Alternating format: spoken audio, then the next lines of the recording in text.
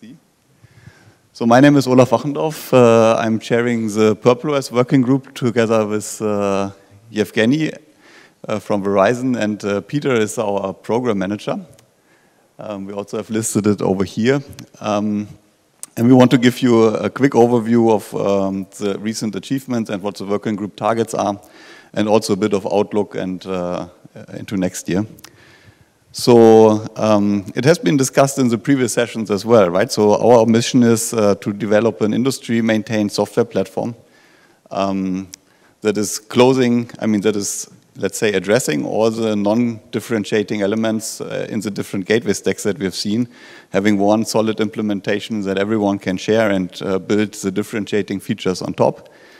And um, yes, focusing then on a mod modular architecture and then, then um, also to integrate with different SOCs underneath.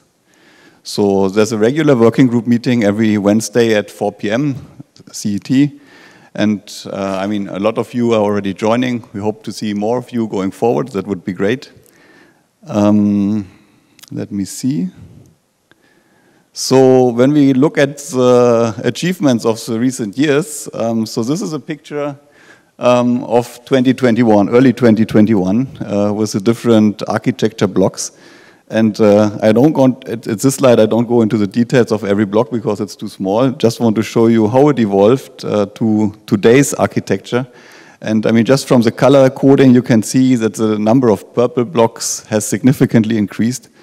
Um, and I will hand over to Vincent to explain uh, on the next slide in more detail every, I mean, not every, but the most important blocks. Yeah. Hi, I'm Vincent Harlé. I'm a project manager uh, for SoftAtHome, for prpl. And uh, I will spare you going into too much details, of course, because we will have, uh, it will take too long. But here, uh, the main points of this architecture, as Mark pointed out earlier, if we are really aiming for a modular, native TR-181 uh, data model. So for that, we have four parts, I would say. So we have at the bottom the low-level API. Then on top of it, we have uh, what we call vendor modules to adapt it to high-level API. On top of it, high-level API. And at the very top, we do have the value-added services that we can add through LCM. Um, the main point here is really being modular. We can uh, really have very small processes updated one by one talking to the bus, exchanging data over the bus. So I think I won't go into further detail, but uh, really the, this is a key point because it will enable you to uh, update with the LCM agent any part of the data model, exchange with application over the bus in a standard fashion with TR181, which is really the main point of prplOS, enabling open, openness. Sorry. Okay. Thanks, Vincent. So, I mean, that's for everyone not yet engaged in the prplOS working group. So all that is, I mean, obviously discussed in more detail in the working group sessions and documented in the internal wiki. So, I mean, it's evolving. So certainly also documentation can still be improved. But I mean, all the details can be then uh, seen in our internal documentation as well.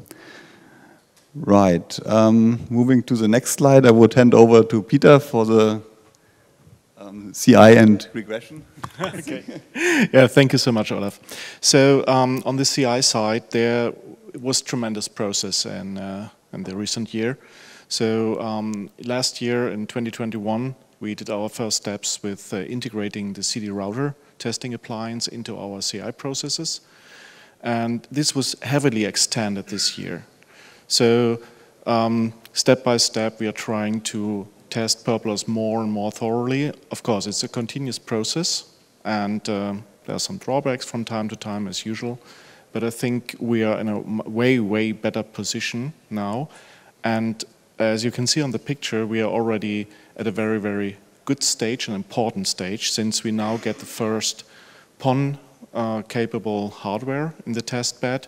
Of course, we also need to be need to test PON, and um, so the OLT you see on the picture, you can also see on the MaxLinear booth. And this is the unit that's uh, going to get integrated in our testbed. And here also a big thanks to MaxLinear, because the colleagues in Munich, they um, took the unit, they tested it, they pre-configured it. Um, I mean, we are not that familiar with PON in every detail, so it's really great to have a silicon vendor support here to really build a good and uh, reliable system. And as mentioned, uh, also by Frederick already, so the next challenges will be the movement to the carrier grade platforms. Um, I mean, that's why we need PON support in the CI testbed as well. But I think Olaf will tell more about that. Thank right. Thanks, Peter. Um, so yeah, um, before we get to the next year's uh, um, challenges ahead of us, um, quick um, update on all the demos. If you didn't see them yet, um, we were asked to give a quick overview of the demos that are related to the prplOS working group. Um, so we have seen, uh, or we can see over on the right or on your left-hand side, uh, two demos on the LCM uh, side, right? So one is from CommScope that was also mentioned before, an LCM backend that manages the containers being installed on the gateway platforms, and a uh, similar demo from uh, SoftAtHome um, that we also have here on the on the side. Um, please take a look if you didn't see them yet. That's uh, that was, I mean, one big area in prpl uh, Foundation overall, right, and in prplOS to integrate these features. And then uh, we also show, I mean, it's a prototype of our new web UI. Um, it's not yet, uh, yeah, showing and, and allowing to configure all the different features, but it's uh, it's based on a Ember.js uh, JavaScript framework that's well maintained. It's easy to extend, and uh, if we look at the amount of time that we've spent on it so far, it's, it's not that much. And uh, you can see already that we can access all the different data objects via the REST API, can display them and uh, configure them. So that one, I mean, allows. I mean, it's, it's maybe it's not supposed to be a directly deployable web UI, right? Because operators at the end would anyway customize the web UI to their brand. But I mean, it should allow the prpl Foundation to develop, right? Every prpl member have something to start with and explore, explore from there. Um, so you can take a look at the, at the prototype over there as well.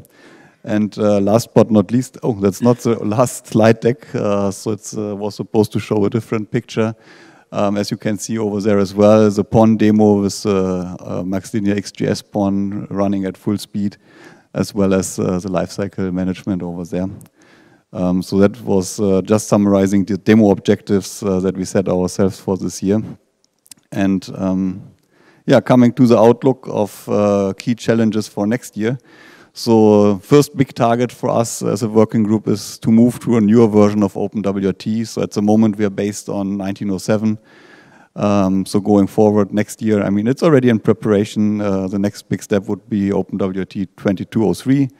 Uh, moving also to the latest, uh, I mean, not not the latest anymore, but 5.15, a decent uh, kernel with, with many new important features for us. Um, so that hopefully can happen early Q1 next year, that we have something stable on that end. Um, then was mentioned before already on several slides, um, we will go towards the next generation carrier grade reference hardware. I mean, that's also not the latest slide, I think. so that's MaxLinear Open Service Platform, as you can see over there already. Um, we've seen WNC, I think, uh, on the demo as well, coming up, and Kaon, I think we also have a demo over here. So we will closer integrate them uh, and uh, into the prplOS and uh, CI. I mean, some of the details still need to be aligned on that end, but um, that's the target to have a broader representation of uh, newer platforms. And um, yeah, I think we have mentioned it before, right? So a lot of new features came in this year.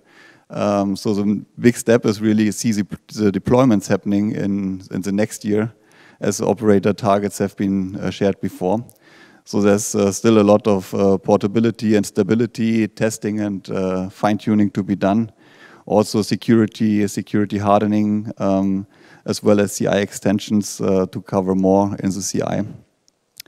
And uh, another big dependency for, for the working group is as well um, the dependency on uh, certification, right? So the more we can really um, run already self-certification on the low-level APIs, then I mean the chipset vendor can say, okay, that test is done, right? So that makes the integration of the upper layer software much easier, and we can. Uh, I mean, a number of issues that I mean, did we implement this API correctly? Is the behavior as it was intended? So a lot of these things uh, that you otherwise uh, just see a failing test and you have to analyze um, could be taken away. So we look forward to hearing from Tim also on the um, certification activities. Okay, and with that, um, thanks a lot for listening.